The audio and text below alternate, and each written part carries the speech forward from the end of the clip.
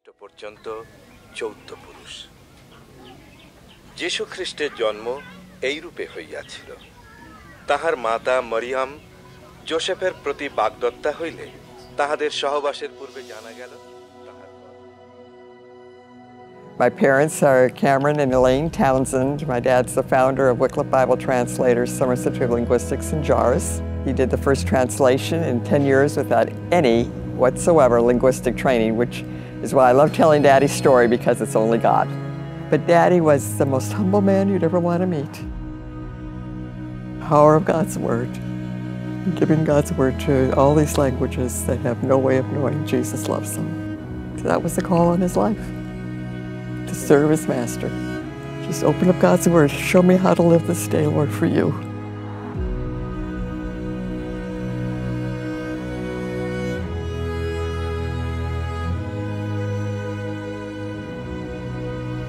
If you ever want to know what mom and dad were like, spend time with Jerry and Annette. Very much like my dad mom. All relationships. And that's what Jesus was. Jesus came to serve the lowly.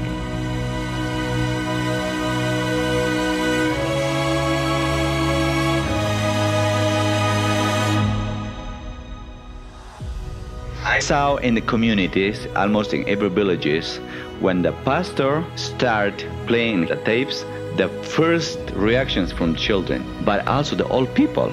They love that materials because they don't know how to read. Right? They- They're like children. If you teach the children, also the old people is there. the Jacksons. They just set out to obey God, one day at a time, little by little, for such a time as this.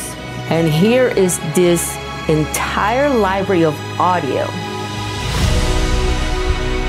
In their recording ministry that they've been developing over many decades, they have a rich network of relationships with Bible organizations. Their heart and commitment to serve, to support the Word of God available in audio form is actually a strong foundation. And now there's this film that the two can come together. And see, I got goosebumps. I mean, honestly, that is only God could have worked that out. What's exciting to me with oral Bible translation is the same commitment to quality translation that goes into a written translation can also be carried into an oral translation, but then it's immediately available for people to listen.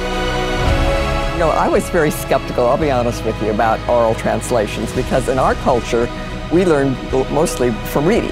But you're going into cultures, they're taught to remember what they hear.